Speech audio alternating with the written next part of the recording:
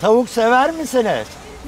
Karabiber sever misiniz? Benim yetiştirmiş olduğum çıraklarım şu an bazıları fabrika sahibi, bazıları atölye sahibi. Esnaflık gerçekten zor bir zanaat. Uğraşlar verdim bu kaliteyi yap boz yap boz yapa yapa çok pilavlar döktüm. Benim yaptığım pilavda gramajlar vardır. Kemik suyundan yapıyorum, tavuk suyundan yapmıyorum pilavımı. Benim yaptığım pilavda elma var, mübalağasız. Pilav dişe gelmeli, e, ezilmeli birazcık. Rakiplerime bakıyorum. İsim yapmış olan pilavcılar var. Gelen müşterilerim daha lezzetli olduğunu söylüyorlar. Abi ya yapmış olduğun şu pilavı çekirdek gibi cebime koyar yerim ya diyor. Ben pilav kolikim diyor. Öyle müşterilerim de var. Ben işimi severek yapıyorum ve iddia ediyorum benim pilavımdan yiyen ama mutlaka bir dahaki sefere gelir pilavımı yer.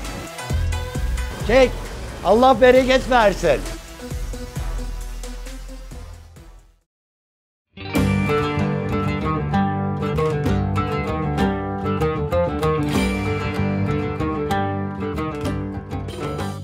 Adım Şaban Sancaklı. 1964 İstanbul Çatalca doğumluyum. İlkokula giderken okul okuduğum zamanlarda işte öğlene kadardı okul. O zamanlar okuldan sonra dokumacılık yapıyordum. Kumaş dokumacılık işi yapan bir atölyede çalışıyordum. İlk paramı o zaman öyle kazanmıştım. Daha sonra marangozluk yaptım. Daha sonra işte kemer imalat işine e, başladım. Kemer işine başladığımda Rize'deki mağazamdan bir akrabam aracılığıyla iş yapmak istedim. O zamanın Yugoslavya'sına. Dolandırıldım, sıfıra düştük. Sıfıra düştükten sonra taksicilik vesaire hayata öyle tekrar bağlanmak istedim. Emekliliğim oldu. Emeklilik sonrası işte yine hani bir şeyler yapmam gerekiyordu. Çocuklarımı okutmam gerekiyordu. Pilav işini uygun gördüm. Sağ olsun bir arkadaşım pilav işinde yardımcı olmuştu. Yaklaşık olarak 2012 yılından beri bu işi yapıyorum. Benim yetiştirmiş olduğum çıraklarım şu an bazıları fabrika sahibi, bazıları atölye sahibi. Burada pilav satıyordum. Eski çıraklarımdan biri buradan geçerken bir lüks aracıyla beni gördü. Abi sen Şaban abi misin dedi. Evet dedim. O Şaban abicim dedi elimi öptü. Şaban abi bizim yanımıza gel. Biz motivasyon oluruz diye öyle bir şey söylemişlerdi. Fakat insanoğlunun eti o kadar çok ağırdır derler ya büyüklerimizin öyle bir lafı var. Ben bunu bildiğim için ben dedim şu an bu işi yapıyorum. Ben bu işimde mutluyum. Onu söyledim. Sağ olsun onlar da bana birleşerek bir e, sürpriz yaptılar. Bana bir tane minibüs aldılar. Hayat mücadeleme devam ediyorum. Havanın soğuk olduğu bir zamanda, karlı olduğu bir zamanda e, burada müşterilerimize hizmet veriyoruz. Esnaflık gerçekten zor bir zanaat.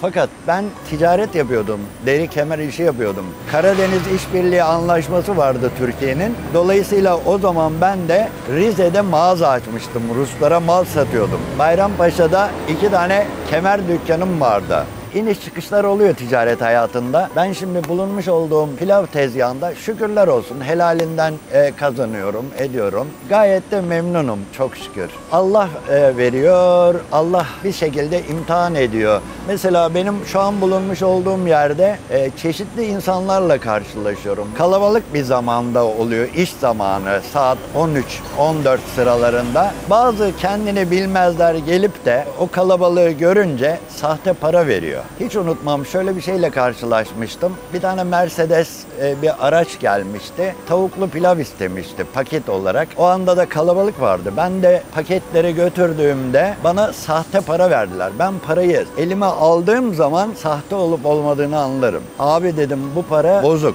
anlayacağı dilden. Ben de bozuk yok diye kendisi laf üretiyordu. Para sahte dedim. Yanındaki de dur e, ben vereyim dedi. Onun verdiği para da sahte çıktı. Ben de telefonumu alıp resmini çekmek istedim. Dur dur çekme çekme dedi. Pilav parasından daha fazla olan parayı verdi, üstünü bekliyordu. Ben de ona hadi yürü git, hadi yürü git dedim. Hani bir şekilde öyle şey yap. Yani esnaflık gerçekten zor. Hani iyi niyet suistimaller çok oluyor be.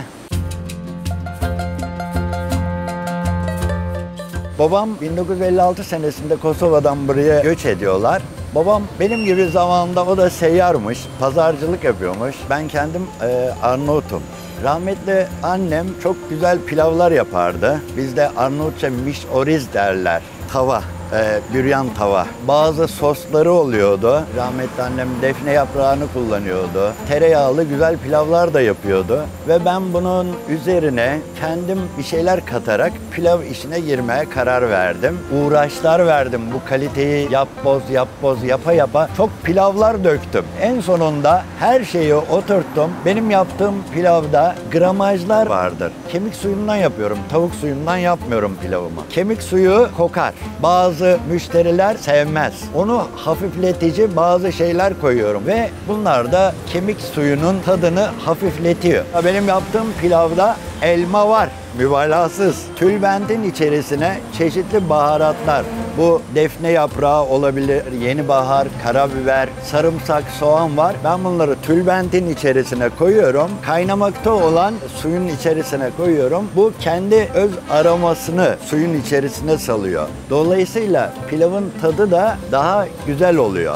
Pilav dişe gelmeli, e, ezilmeli birazcık. Bazen lapa olabilir vesaire olabilir. Bu da neyden kaynaklanıyor biliyor musunuz? Hasat zamanı yeni olan pirinç sulu olur. Onun suyunu tutturamazsınız, lapa olur. Fakat dinlenmiş olan pirinç, hasat sonrası olan pirinç daha kaliteli olur. Suyunu da ona göre emer.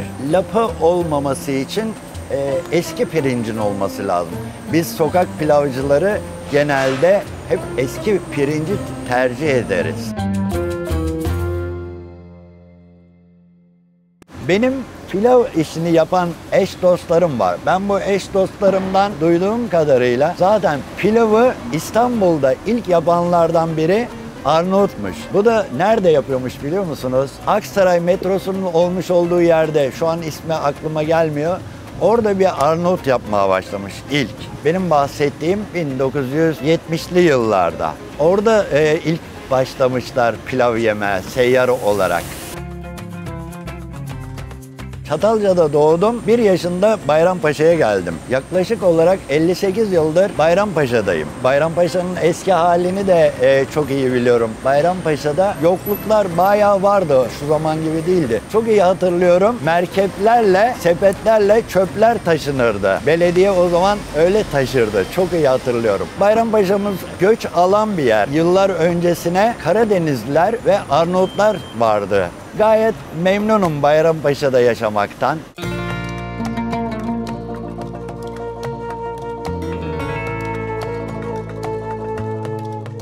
Benim bulunmuş olduğum yere çeşitli müşterilerim geliyor. Mesela fabrika sahibi olan şoförüyle birlikte kapısını açan hani iş adamları da geliyor. Kağıt toplayan arkadaşlar, müşterilerim de var. Onlar da geliyor. İşçi olarak çalışan müşterilerim de var. İsmini vermek istemiyorum ama bir gömlek firmasının sahibi zaman zaman geliyordu. Pilavın çok güzelmiş, lezzetliymiş. Müşterilerim bana söylemişti ve ben de merak ettim geldim. Bende şeker var ama azıcık alayım bir yiyeyim bakalım dedi. Beğendiğini söyledi. Ertesi gün birkaç defa geldi. Yine pilav yedi. Bana şöyle bir teklifte de bulunmuştu. 10 tane pilavlar zinciri açacağım sana. Yanına yeğenimi vereceğim. Ona da öğreteceksin demişti.